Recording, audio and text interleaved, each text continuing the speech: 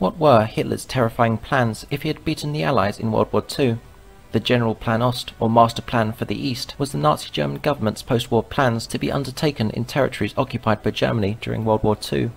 It called for genocide and ethnic cleansing on a vast scale, along with the colonization of Central and Eastern Europe by Germans. The plan was indeed attempted during the war, resulting indirectly and directly in the deaths of millions by shootings, starvation, disease, extermination through labour, and genocide. However, its full implementation was not considered practical during major military operations, and following the German defeat at, and subsequent retreat from, Stalingrad, the master plan was suspended and gradually abandoned in its entirety as the Eastern Front collapsed and the Allies opened a Western Front on the beaches of France.